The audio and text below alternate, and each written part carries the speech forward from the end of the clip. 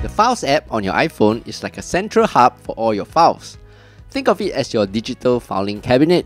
You can organize your files and access files from different locations like your iPhone, iCloud Drive, and other cloud services like Dropbox and Google Drive. In summary, the Files app helps you keep all your important documents, photos, and other files organized and easily accessible on your iPhone.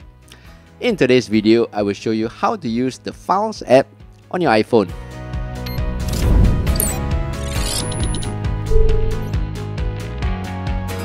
Hey, what's up everyone? I'm Steph and in this channel, I teach you quick daily tech tips that make your life a little easier. Go to your Files app on your iPhone or you can swipe down and search for files.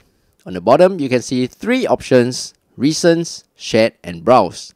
Recents will be those files that you downloaded or recently saved.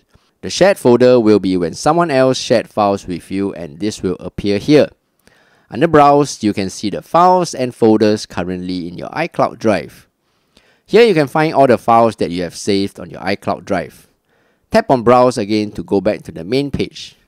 Under Locations, you can see the different locations that you can have access to.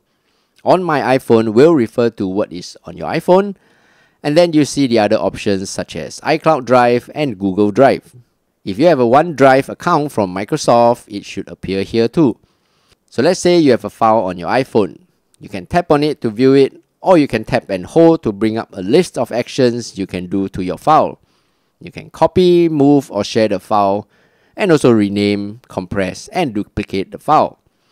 If you do not want the file, you can always delete it. These options are pretty self-explanatory, so you can test them out yourself and make the appropriate action. One very useful function is the ability to tag your files. So let's say this file is very important, so you might want to tag in red. Here you can see a little red dot has been added to your file name.